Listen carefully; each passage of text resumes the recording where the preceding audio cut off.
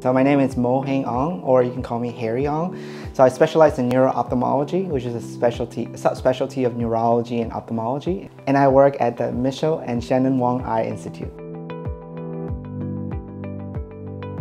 The patient population that I see are uh, most uh, anybody above uh, age 12 with uh, visual symptoms that are due to neuro, potentially due to neurological diseases. The disease ranges from, could be from vision loss, so it could be from due to vision loss either due to strokes or multiple sclerosis, you probably heard about optic neuritis, to all the way to pupillary asymmetry that's caused by neurological diseases or eye movement abnormality that causing, uh, cause double visions for patients. So I, I treat from what they call afferent visual function to all the way to efferent visual functions.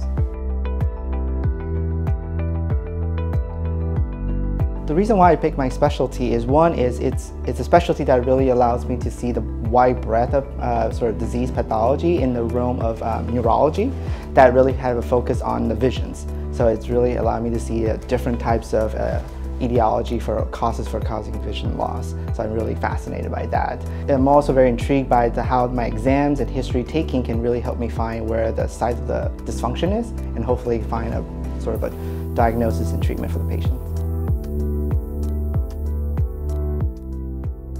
My personal approach to patient care is sort of this is a share a relationship. So I really like to discuss with the patient what my thought process are and what potential steps are we doing so that actually it's a sort of a mutual relationship where we can have a form decision together for, for their patient care and also management so that this is actually a, a mutual relationship so that we make the decision together and then I would like to guide them as we go along with my recommendations. So I think the involvement is really important is because so that they understand the disease, so they know what the impact of the disease is, so they can actually make the appropriate sort of um, decisions and also lifestyle changes if that's involved, and also so that they know what is the urgency or what is needed, so they can actually seek the appropriate sort of next step, so that we we can minimize either the you know, recurrence of the disease or prevent future recurrence.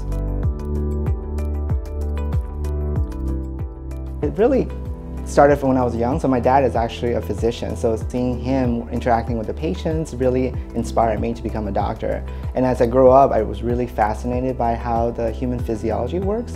And at the end of the day, sort of able to see that smile on the patient's face really drives me to become a doctor.